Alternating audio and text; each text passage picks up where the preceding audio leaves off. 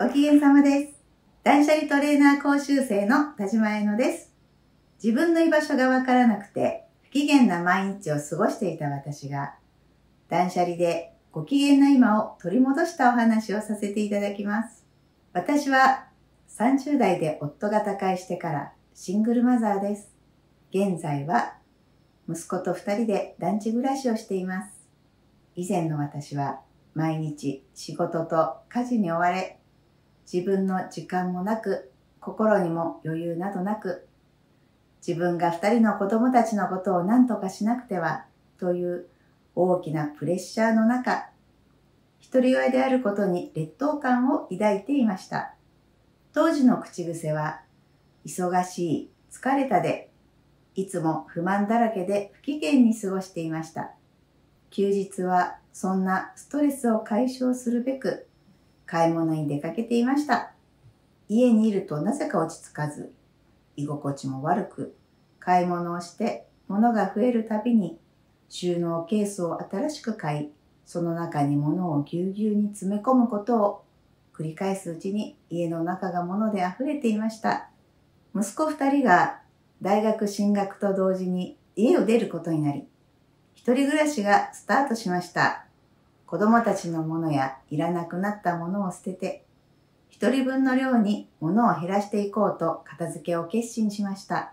部屋の整理整頓や片付け方を検索し始めたところ、断捨離の Facebook 広告が目に留まり、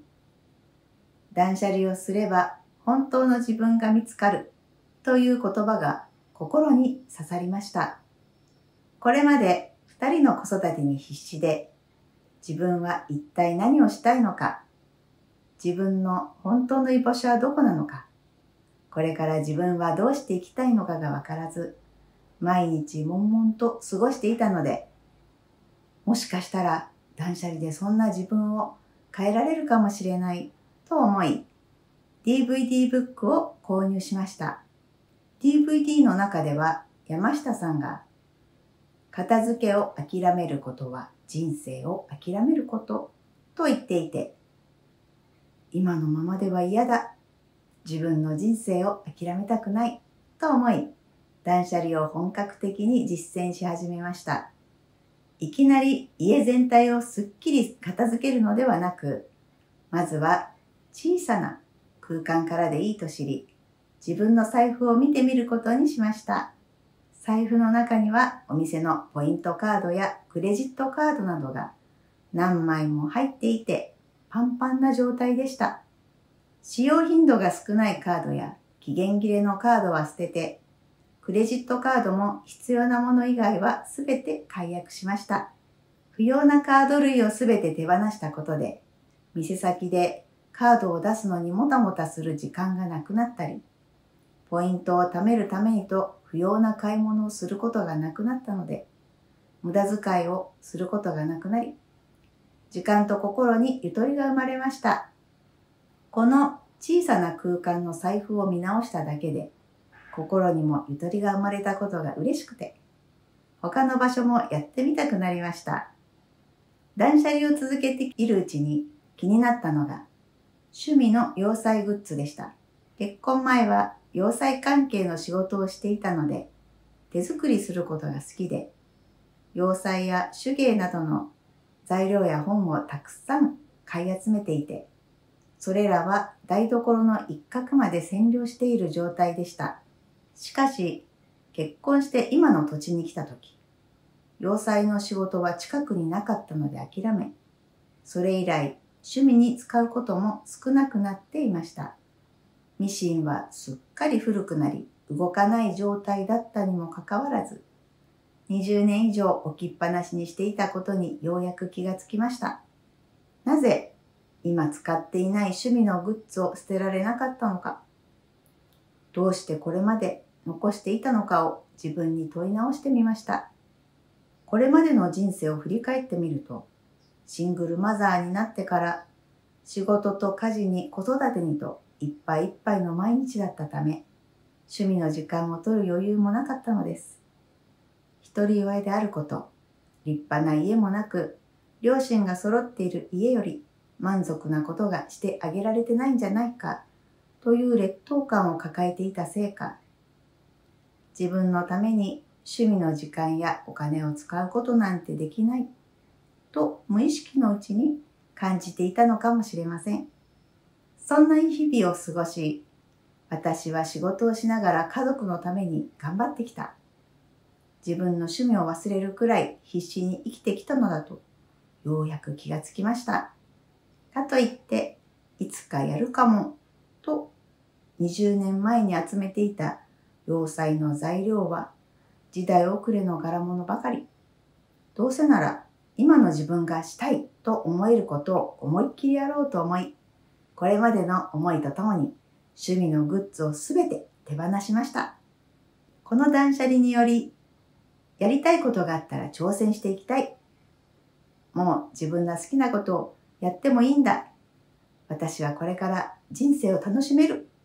というような前向きな気持ちがどんどん湧いてきて、そんな自分が誇らしくなりました。あと気になったのは、ストレス解消にと買い漁っていた大量の洋服が衣装ケースやタンスの中に押し込まれていたことでした。洋服を厳選していくうちに気づいたのは、物自体はいいものだけど、自分が好きと思える洋服ではなかったということでした。見渡してみると、すべてジャケットやブラウスなど仕事用の服ばかりで、休日に出かける時さえもジャケットを羽織っていました。この洋服たちはいつも自分はしっかりしなくてはいけない。一人親だから仕事を頑張らなくてはという責任感の証拠品でした。本当の自分らしく自然体でいられる服ではなく、どこか無理している服ばかりだったので、いくら買い物をしても着る服がないと悩み、着たい服がないからまた買い物に出かけるという悪循環に陥っていたのです。大量の服を手放す過程で、これまで十分頑張ってきた自分が今の自分を作ってきたのだから、武装するように着ていた洋服たちはもう必要ないと思えるようになりました。自分が自然体でいられる本当に着たい服を買えるようになったことで、少しずつ周りの人から褒められるようになりました。洋服を選ぶときも、これでいいや、ではなく、これがいいに変化し、お気に入りの服を着ることを躊躇せず、今の自分の気持ちを優先できるようになったのと同時に、毎日ご機嫌でいられるようになりました。断捨離をすると本当の自分が見つかるが心に刺さり断捨離を始め、いつの間にか自分を大切にできるようになりました。長年シングルマザーとして人一倍頑張らなくてはと思い、自分を大切にすることに対して無自覚に抵抗を感じていて、そんな自分にかけていた制限を解放し、自分が一番自分を大切にしてあげようと許可を出せるようになりました。いつも自分のマイナス点ばかり見る減点法でしたが、断捨離の加点法を通して自分もやればできると自信がつき、自分を信じて何があっても大丈夫と思えるようになり、未来に希望が持てるようになりました。そして今ここ私で物と向き合い、自分の判断で物を選んでいくうちに、自分の意思で意図的に生きられるようになり、今いる場所が自分の居場所なんだと思えるようになりました。自分の用、適、解で空間をクリエイトしていくと、どんどん自分の家が好きになり、そこで過ごすことで自然とご機嫌な自分になってきました。余裕がなかった心も不要なものを手放したゆとりある空間から心にもゆとりが生まれ、これからの人生を楽しんでいこう。いろいろなことに挑戦していこうと思えるようになりました。片付けを諦めることは人生を諦めること。諦めないで片付け続けたら人生が変わってきました。